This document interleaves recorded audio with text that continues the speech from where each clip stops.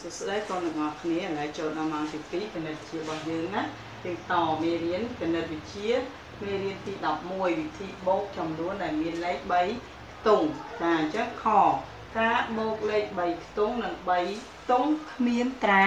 ទុកអញ្ចឹងសូមកូនមើលអ្នកគ្រូសូមអានគេដាក់ជាចំណោទឲ្យកូនអានឲ្យកូនគិតតិចណាម្ដាយបូណាលក់ខ្មៅដៃអស់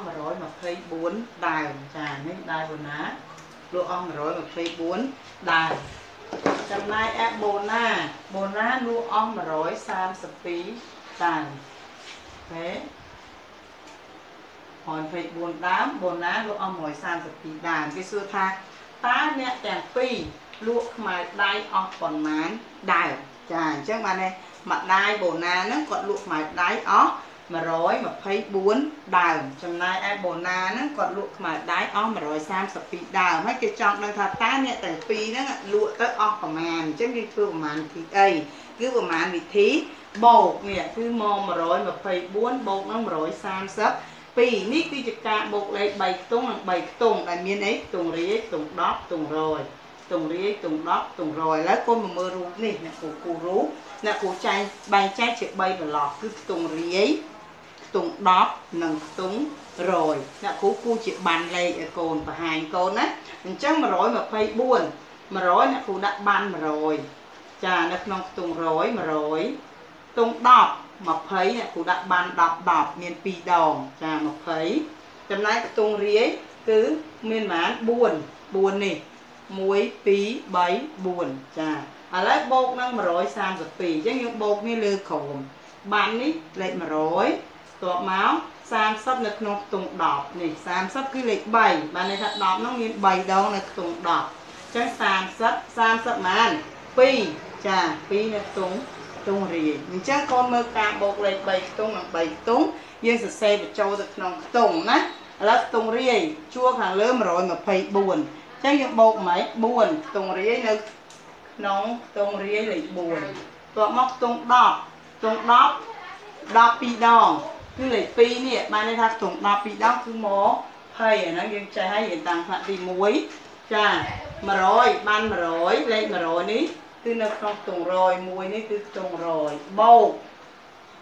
ខ្ទង់រាយ32លេខ2 13ដងគឺ30លេខ3ចាបាន100នៅខ្ទង់100លេខ1ចាអញ្ចឹងយើងចាប់ដើមចាប់ដើមបូកមកកូន ខ្ទង់រាជបូកខ្ទង់រាជខ្ទង់10បូកខ្ទង់10មក4បូក2ចាយើងរាប់មក1 2 3 4 5 5 1ឃើញ5 1ចាសេរី6 10 10 20 30 40 50ចាអញ្ចឹង2បូក3 5 5នៅក្នុងខ្ទង់10គឺវាមានតម្លៃ50 50 100 100បូក100វាចេញប៉ុន្មានកូន 200ដល់នេះ1បូក1 1បូក1មិនមែនថាមានន័យថា1ទេ1នៅខ្ទង់100គឺ100 100 2ដងគឺ2 200អញ្ចឹងចម្លើយវាឃើញប៉ុន្មានកូន255 1ដូច្នេះ124បូក132វាឃើញប៉ុន្មាន255 1អញ្ចឹងម្ដាយបូណាហើយនិងបូណាលក់ខ្មៅដៃសរុបចូលគ្នាទាំងអស់គឺ255 1 ចាអញ្ចឹងមេរៀនយើងថ្ងៃនេះចប់សូមកូនទាំងអស់គ្នាមើលទៅលើកិច្ចការផ្ទះចាកិច្ចការផ្ទះយើងនេះគឺមានលំហាត់មួយនិងចំណោទមួយអញ្ចឹងអ្នកគ្រូសូមបញ្យល់តែចំណោទទេលំហាត់ឲ្យកូនអនុវត្តដោយខ្លួនឯងគេថាចាយសុកលក់មន់អស់315គីឡូក្រាមស្ដាប់ឡងទៀតចាយសុកលក់មន់អស់315គីឡូក្រាមឪពុកលក់អស់224គីឡូ ក្រាមគេសួរថាតើអ្នកទាំងពីរលក់មន់អស់ប៉ុន្មានគីឡូក្រាមចាអញ្ចឹងកូនធ្វើលេខអីកំណោតហ្នឹងអញ្ចឹងកូនទៅផ្ទះអនុវត្តណាចឹងសូមមើលទាំងអស់គ្នាគេថាសក់លក់មន់អស់315គីឡូគីឡូក្រាម315គីឡូក្រាមចំណែកឯឪពុក ហើយឪពុកឪពុកលក់អស់លក់អស់ប្រហែល224គីឡូក្រាម